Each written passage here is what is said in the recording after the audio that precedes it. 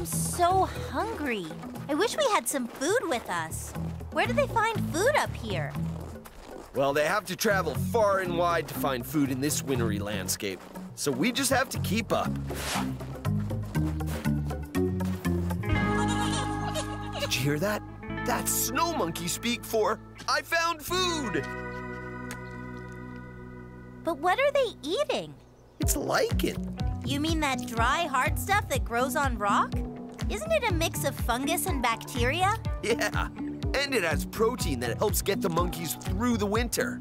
They'll even eat pine needles and bark. I love these monkeys, but I don't love what they eat in winter. Oh no! Clouded leopard!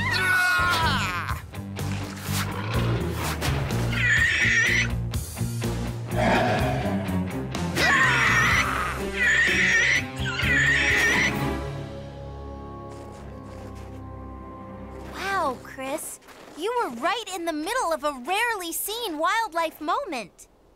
Yeah, I just followed my inner monkey instinct. That was a classic golden snub-nosed monkey group defense.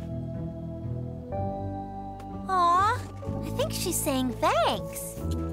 In snub-nosed monkey troops, courage is rewarded with a higher rank. And Goldeneye sure stood up to that leopard. You didn't do too bad either. That's why she wants you to have that lichen. Oh, great. Lichen. Ugh, yum. If we make a signal in the snow, the Tortuga might see it from way up in the stratosphere.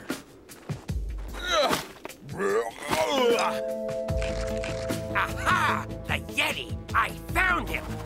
Come on, Zachbots! Let's get me that Yeti! There, they should be able to see that. Get him! Get that monkey man Yeti thing! Huh?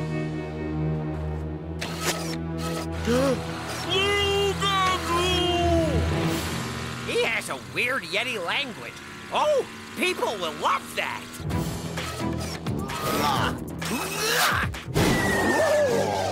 Whoa!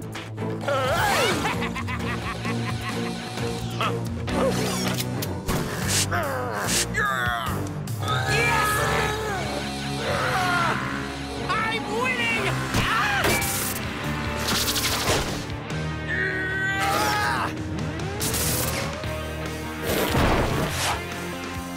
Lugavo! Oh! Oh!